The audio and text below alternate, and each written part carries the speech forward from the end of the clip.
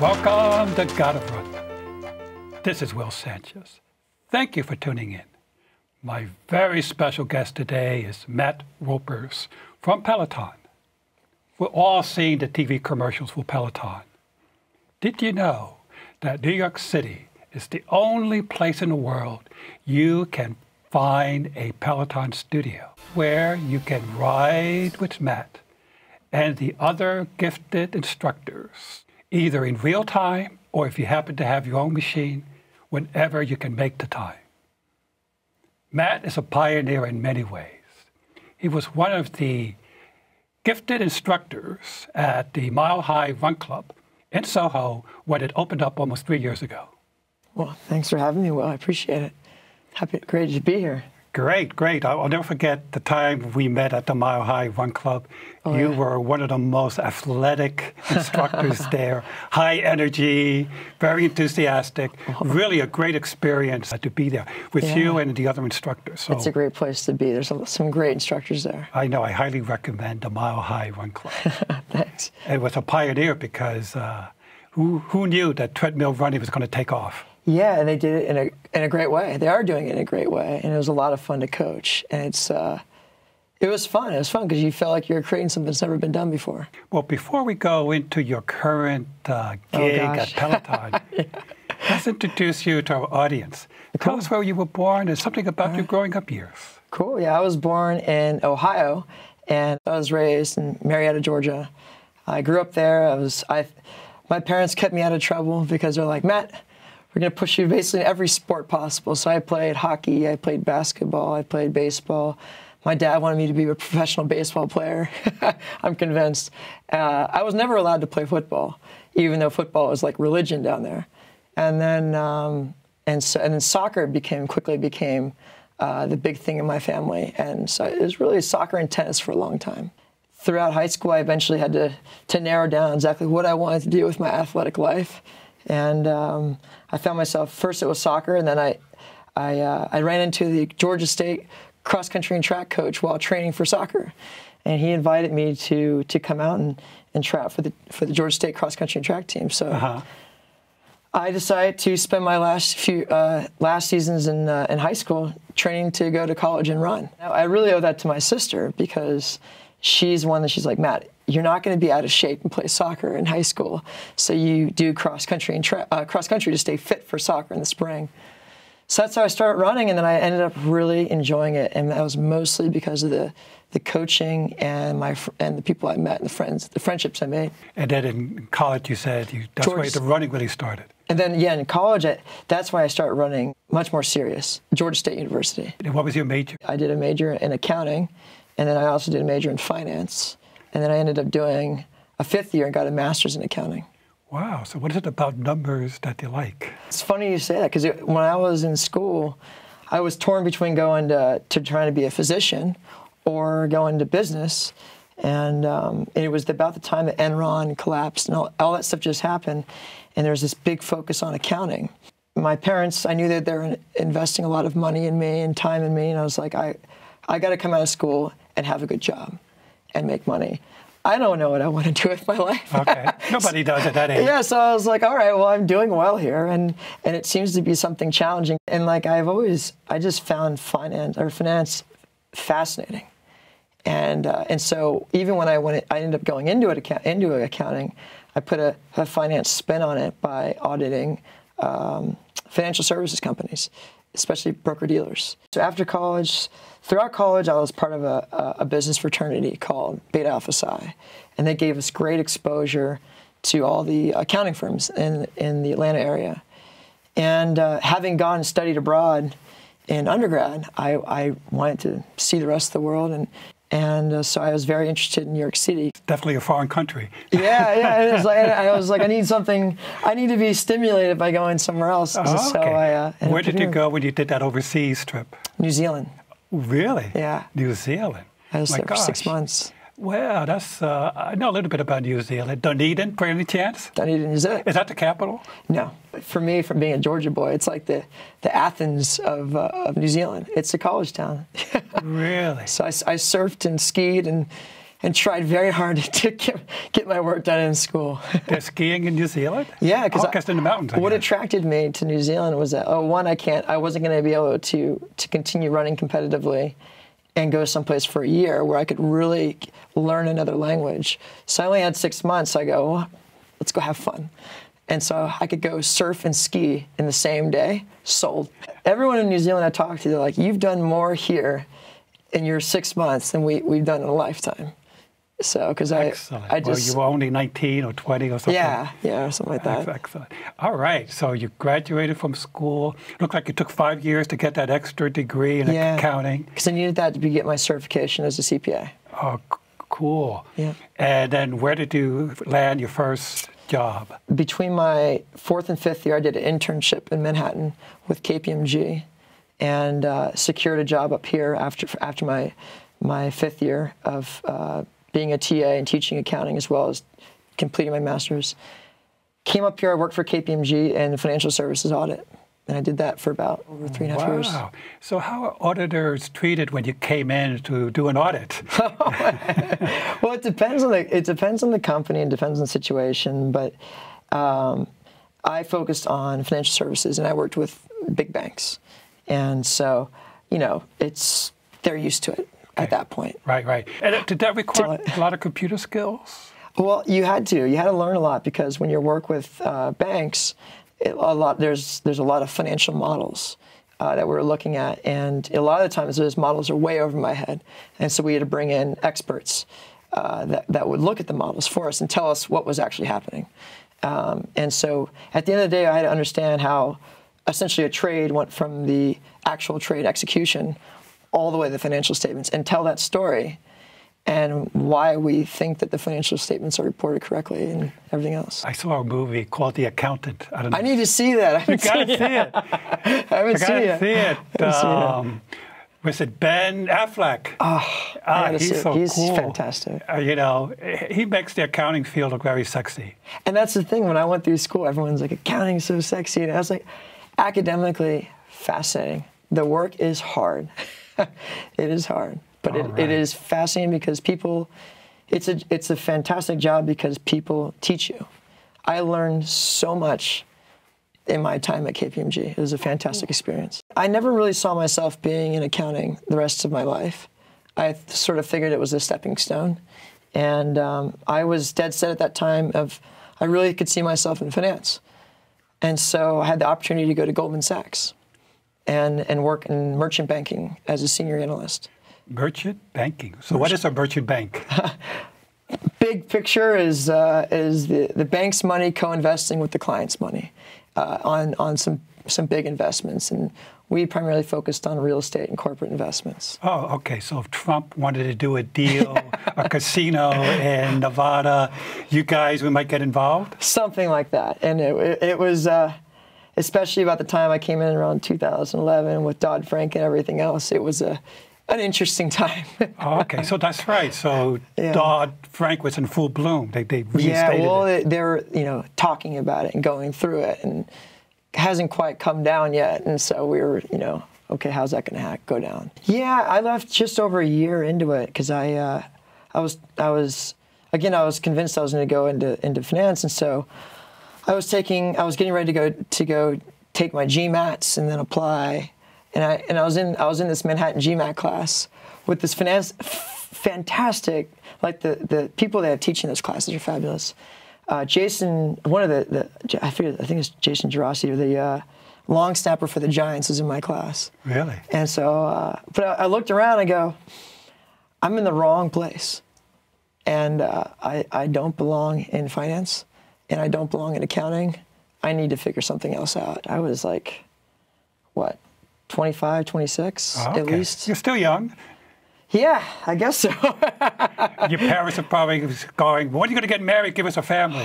Being from Georgia, you can imagine. Yeah, but my luckily my parents have a lot of patience. So after that, I uh, at that time I had always been doing fitness coaching on the side, and uh, that was sort of like my happy place. Was you know whenever I got injured, or whatever else from training and racing, I would coach. I coached an all-female triathlon team that started up called Team Lipstick.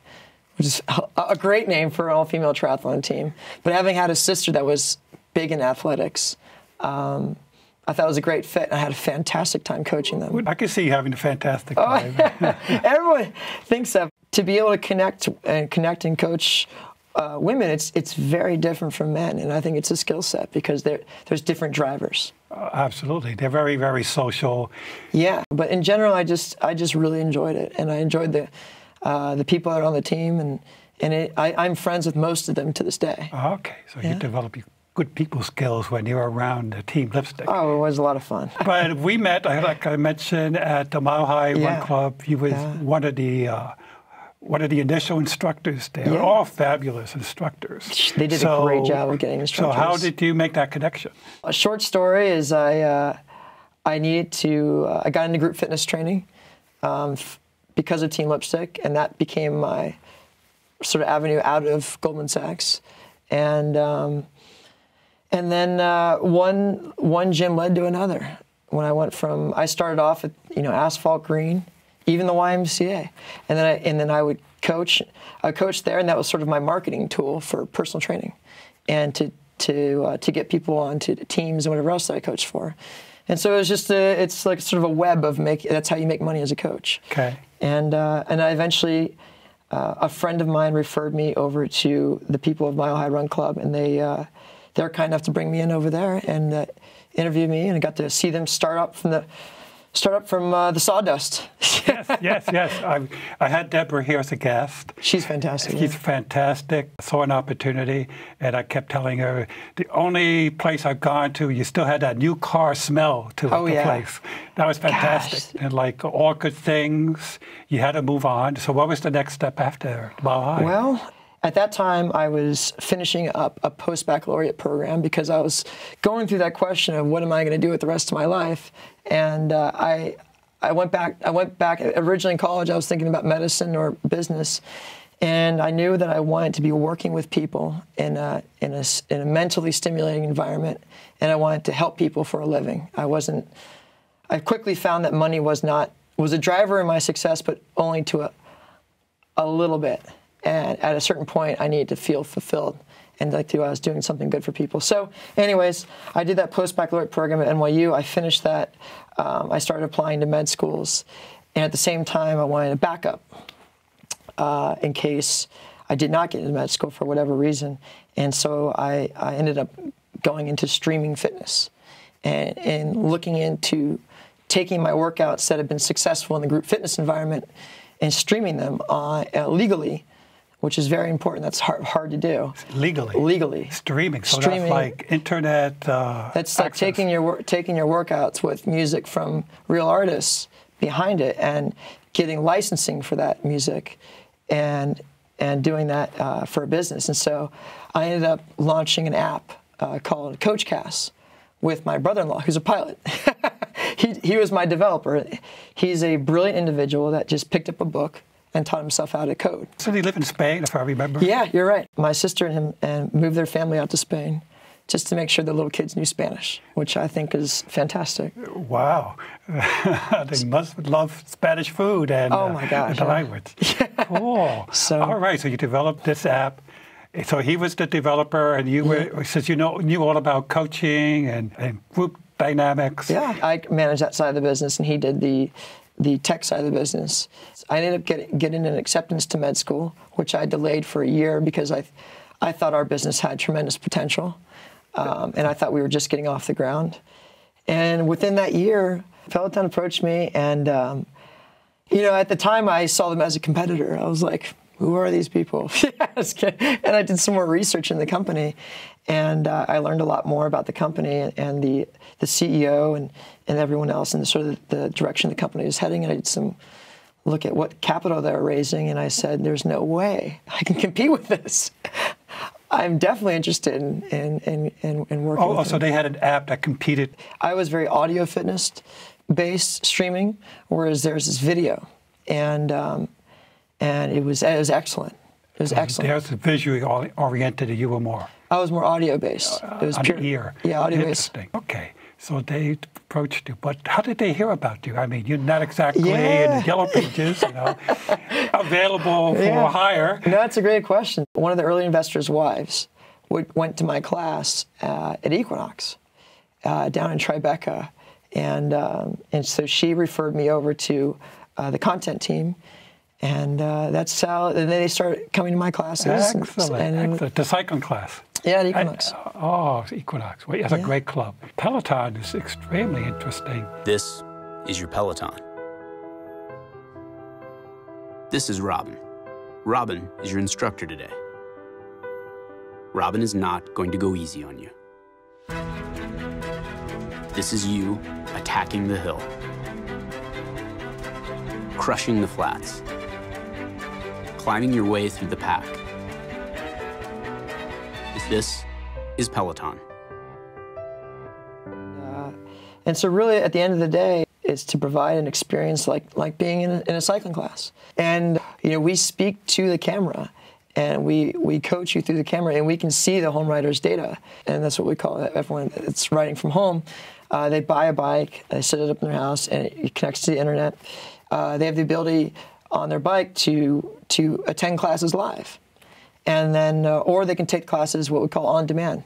So every class is recorded, or, and you can you can come in and take one of those classes, and it has a leaderboard that's uh, you can compete based on total output, and it's a diverse group of 12 instructors, and we're all different in our own ways, and all they're all good but different, and which is fun because I mean we all learn from each other. Absolutely. Just like Mile High, you all learn from each other. So is there a music piped in? Oh yeah. Music is very important. Yeah, when I looked at the company, I was just like, wow, they, they're using real music like I am. You know, it's a home run. So obviously everybody has a different taste in music. So what is your flair? Is it? Is Oh, it, gosh. Is it rock and roll? Is it reggae? I don't know. Oh, What, it what depends on the workout. So my whole big thing is I, I teach power zone training. Uh, so whenever I do a power zone class, it's usually an eclectic mix of you name it. Uh, I like uh, you know remixes from EDM uh, to house uh, to rock, you name it. But then we'll do theme rides. Like today, I did a rock theme ride where I played. Uh, some some Seether, some Lynyrd Skynyrd, some uh, you know it's it's all over. So it's really, uh, I guess growing up, I was lucky to to sort of cultivate a love for most types of music. Okay. So besides being a, a gifted athlete, they're also looking for somebody that knows their music, because It's if a you're, degree if you in don't have, you're not going. to But they're a great athlete. They're going to hire you to be to be as an instructor. You got to do your homework. because you're you got to be a DJ. Yeah. People are writing both in the studio. Some people Yep. could come in and write there, Yep. and then people at home. So how many people can you monitor? I mean, hundreds. Oh gosh, I know one of the instructors. It was her thousandth ride. It had over 1,500 people in it, riding live. One of the things that makes it so great is that um, online and through social media, the instructors have a lot of interaction with the community. When I was with uh, team in training, the coach had this gift that everybody on the team, and we had people from never done, you know, a step to veterans yeah. returning. But we, each of us felt like we were the star of the team. And if you're gifted enough, you can make, even though the 1500, everyone feel like they're the star of the group. Yeah. The cool thing is, is so like a great example is after class on my Peloton Facebook page, people I'll ask people to post their output graphs. Output graphs displays what their output looked like, their out, uh, wattage it looked like throughout class, and I can say, okay, then you did great here, you did great here. I would look to improve here. You can give feedback that way. Where you're located in New York? Down 23rd Street between 6th and 7th. They could go there seven days a week. Yep. Is it 24 hours? Or Oh, definitely. I'm not teaching class at 3 o'clock in the morning. no, our earliest class is because I teach at 6 a.m. 6 a.m.. Uh, and then we have uh, classes that go as late as about 8.30 p.m. Oh, okay. But there's classes all day of different lengths. Okay. And also you have a sample machine because my wife tried it out Oh, yeah. and instantly fell in love with it. Like she pedaled like Yeah. two and said, okay, I want one. But he plans opening up another studio I'm not quite sure. New, New Zealand. Oh, who knows? Go That'd be back to great. That'd be great. I mean, I'd, I'd sign up first. So they have boutique stores where they can people uh, you can all around the nation. You can come in and learn about the bike, buy some clothes, et cetera, and, and just get a feel for what the bike is and the company Okay. is. So there's 20 stores like that, but only one studio, and that's in Manhattan. You were wearing a shirt that caught my eye. Oh, And it said, Every Mother Counts. Yes, sir. Tell us about Yeah. your involvement with Every Mother Counts. Man, oh man. Well, it's a long story how I ended up coaching for them, but basically, I, I'm their in-house coach. Um, so I write the training programs um, and provide as much feedback as I can, and you know, my job is to essentially coach. But it's um, it's a great organization that I you know I've met Christy Turlington, who's it's her company, and then um, Alex Newbold, who's the CFO, and I, I've known them, and they actually came to my Mile High classes all the time, uh, as well as when I worked with New York Health and Racquet. Uh, so it's sort of been a long relationship, and uh, and yeah, I'm a big supporter of the company. I wear I wear my Every Mother Counts hat shirt in my Peloton classes all the time. I race with their clothing. Uh, I just think that making childbirth safe in developing countries is just such a fantastic cause, and I just really believe in what they're doing. Absolutely, that's great. I had I had one of their ambassadors here from the uh, ambassador for Every Mother Counts. She works for Charity Miles, Okay. that supports Every Mother Counts. Okay. and, uh, she, she was such a great spokesperson. She believes in the cause that Yeah. for her 26th birthday, she organized a marathon in Manhattan. Where she ran it and had her friends support her Oh, cool. to raise funds for Every Mother Counts. Uh, she runs for the Dashing Whippets. Oh, great, co- great team. Great And when I saw that, well, I got to invite this 26 year old. I mean, not too many 26 year old would decide to do their birthdays, you know, this Yeah. way. It's it is a fantastic uh, nonprofit. So that's what attracted me was that uh, that every that shirt. I said, okay, all right. So you're Every- the coach. everyone- that's what a cool job that is. Everyone, everyone sees that shirt, they're like, "Why are you? What? What?" but well, since you come from Team Lipstick, it makes sense you, you would coach for every mother counts. So somehow you're True. attracted to the True. female side of things. true. Well, you know, So this is good that you're in touch with your feminine side. not every not every man is comfortable with that. no, it's true. But it, you know, just uh, it's all about the cause, and and, and having gone, I actually uh, did a lot of volunteer work in um, in gynecologic oncology as well as um, OBGYN, and with anesthesiology. That's where I did a lot of my. Uh, volunteering to go to med school, and I learned a lot, uh, especially about childbirth and uh, and ha- and the the the troubles that can happen, and everything else. And it's really what you know. The more I learned about it, I was like, that's this this needs to be this needs to exist. Oh yeah, yeah. And they got a lot of great spokesperson. I saw Scott Jurek. the work that Every Mother Counts is doing really hits home with us and our own personal experience. A year ago, almost to the day, we were in the Canary Islands. I did that race and it was really hard for me. A few days after we got home, we went for a couple training runs. I just like didn't feel good. My ears started ringing and everything just started spinning. I kind of collapsed on the ground, going in and out of consciousness. So we get to the ER. This doctor comes in and he's like, Do you realize that you're pregnant? And we're like, No. Well, you're like seven weeks pregnant and it's ectopic and we have to terminate it. You've lost a half a liter to a liter of blood and we're gonna have to have surgery like right now. Here we are in, you know, a modern city. We have access to a hospital and an ER, and you know, even then, you know, Jenny almost died. And, and I mean, it's really scary to think that happens in remote places where women don't have access to a hospital or ER one mile away. And if they do, they're not getting in a car; they have to walk that distance. Matt, did you run any marathons? I have. Tell us about the best one. Oh gosh, uh, my best marathon was probably the most humorous one. It was my first one. my first my, my first marathon was out in uh, in California, in uh, just outside of Los Angeles. I think it was Long Beach Marathon, and the uh, it's my first marathon ever. And I didn't really understand nutrition because I was used to racing 5Ks in college. Big difference. So I, I ate a bowl of Cheerios in the morning, and I went out there completely bonked at mile 13. And uh, someone handed me a gel, and that's how I learned about gels. Uh, so I got a gel and somehow brought it together and ran a 313. And uh, and the, the kicker of it was that they mixed up the chips between my mom and myself. So, she ran 313. So she ran a 313 and she won her division and she received a massive check in the mail. and the statute of limitation is over, right? She's then- spending money or she sent it back. oh, and then and it, it, it kept going. And then there's an article in the newspaper about my mom in the local newspaper. So everyone's calling her house, being like, "Where did that come from?" so I was like, uh, so my mom sent the money back and was blushing like crazy. Uh, but but that was my first marathon, and That's a I'll never forget story. it. No, she's not going to forget it either. So well, listen, on that note, yeah. thank you so much for coming. in. Thanks for having me. It's my pleasure. So thank you.